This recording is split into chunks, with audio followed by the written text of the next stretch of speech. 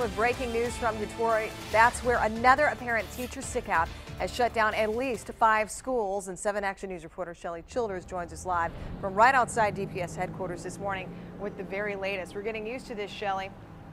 Yeah, yeah, it's really cold out here. Live shot after live shot, it keeps getting colder.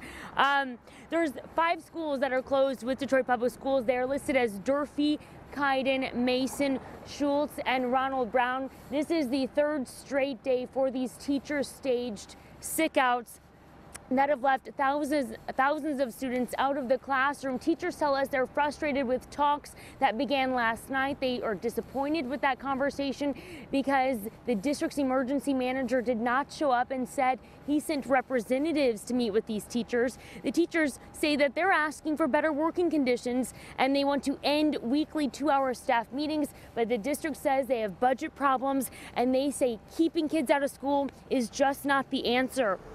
Again, the schools listed are Durfee, Kaiden, Mason, Schulze, and Ronald Brown. Of course, we'll continue to monitor, their, monitor this situation and bring you any updates to a growing list. For now, reporting live from Detroit, Shelly Childers, 7 Action News.